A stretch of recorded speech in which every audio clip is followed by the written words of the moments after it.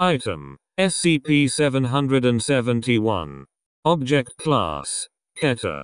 Special Containment Procedure. SCP-771 is to be held in a secure windowless containment cell at all times.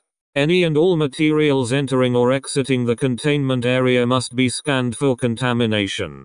Containment area must be checked weekly, and any damage done by SCP-771 is to be immediately repaired.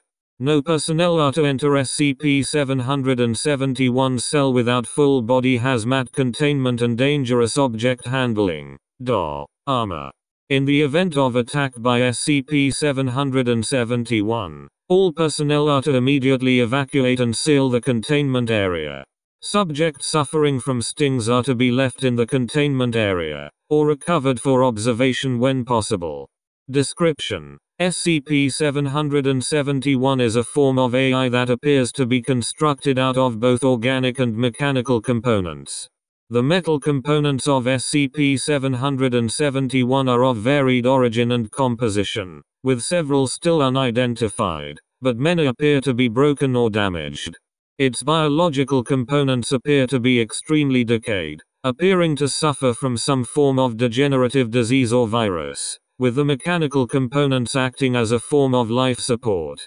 Due to this impaired state, SCP-771 cannot function properly, and can only function for short periods of time, with many errors and glitches during that time. When SCP-771 undergoes an error or shuts down, a swarm of small robots is released from a hatch within SCP-771. These microbots will swarm over SCP-771, then start to search the surrounding area. The swarm will break down any and all metal in the area, and return it to SCP-771, attempting to patch the damaged areas. These patches appear to be temporary, and typically only last for 3 to 4 days.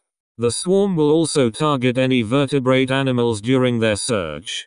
Upon contact, the swarm will proceed to sting the subject, injecting a fluid that completely freezes all muscles in the body almost instantly. This fluid reacts only to the skeletal muscles, and allows all organs, including the brain, to function normally. Once frozen, the microbots will move the subject into close proximity to SCP-771, and proceed to cut off portions of tissue. The swarm will bring the tissue back to SCP-771, attaching the pieces to the pre-existing biological components. Once the subject dies typically from blood loss after 2 to 4 days, the microbots cease their harvesting and retreat back into SCP-771.